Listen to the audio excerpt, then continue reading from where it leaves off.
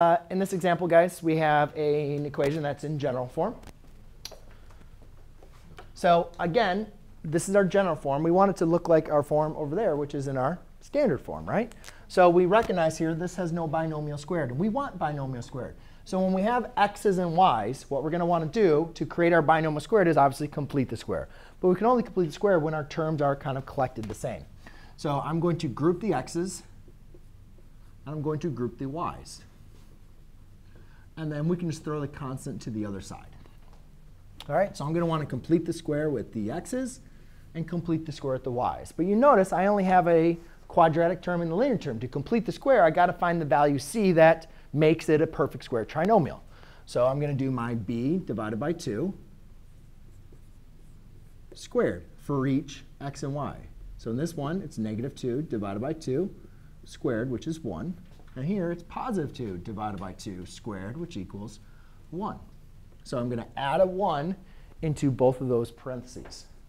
So I have an x squared minus 2x plus 1.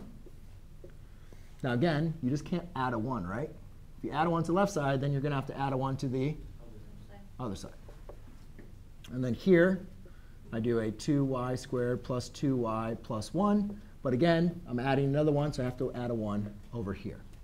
Now I have successfully created two perfect square trinomials, which can be very quickly factored down to binomial squared, which is x minus 1 squared times y plus 1 squared equals 4.